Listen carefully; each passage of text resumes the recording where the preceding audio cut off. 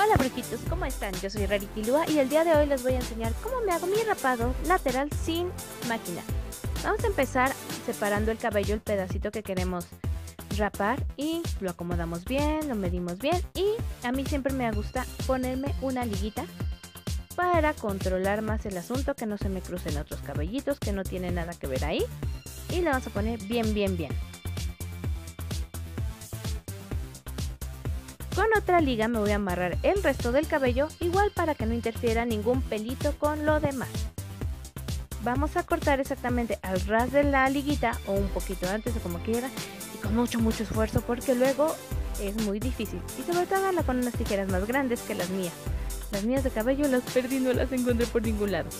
Y ahora simplemente vamos a empezar a cortar cabellitos lo más pegado a la raíz poco a poquito, sin, mucha prisa, tratando de que nos quede bonito, bonito. Si quieren, muy, muy al ras, sino nada más dejando un medio centímetro de, de cabello y, y pues ya. No es gran ciencia, más que nada es de ver cómo lo voy haciendo y ir viendo ustedes cómo se lo acomodan, si les gusta, si no. Obviamente con esta técnica no podemos hacer figuritas ni nada de eso, pero para sacarnos de un aprieto, mientras está muy muy bueno.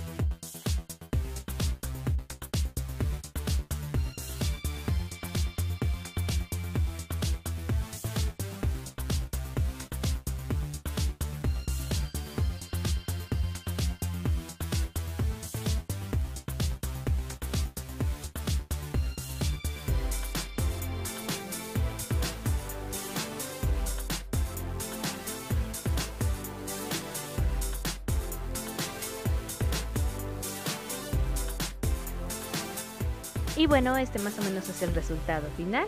Este es todo mi pelito que sobró y ahora les voy a enseñar más o menos cómo me corto yo el fleco para un cambio de look ya total porque ya me aburrí ver la rayita de lado. bueno, lo que hago es dividirme un poquito el cabello igual que como lo hicimos en el con la rapada y lo junto todo enfrente.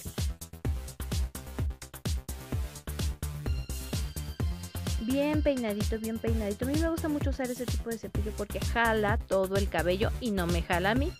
Y ya nada más lo hago churrito. Y el visco, el visco, hago visco. El visco es principal para, para cortarnos el fleco, para poder hacerlo bien. Y como verán me quedó muy largo, lo vuelvo a hacer rollito, vuelvo a hacer visco y lo vuelvo a cortar. Y eso es todo lo que hago con mi hermoso y precioso flequito.